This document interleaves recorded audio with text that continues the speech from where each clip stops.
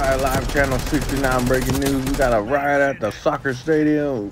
There is pandemonium. One man selling beer has been stabbed. We have reports of mass shootings.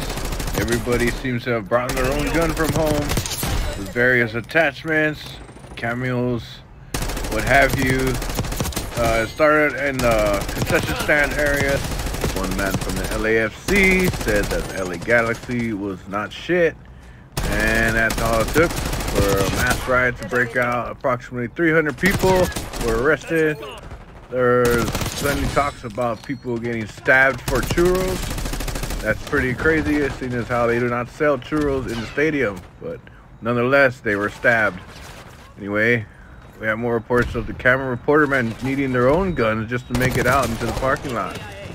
When reached out for comment, the man said he had no idea there was a riot going down and that it was just a hilarious set of circumstances. anyway, the goalie has been taken hostage. Uh, we have no idea where they have taken them to. Uh, there are many reports that there were children also taking place in the stabbing, even given tutorials on how to stab. Uh, it's called Call of Duty Black Ops 6. Yes, new game coming out. Much looking like that shit that's going down right now. Back to you, Jared.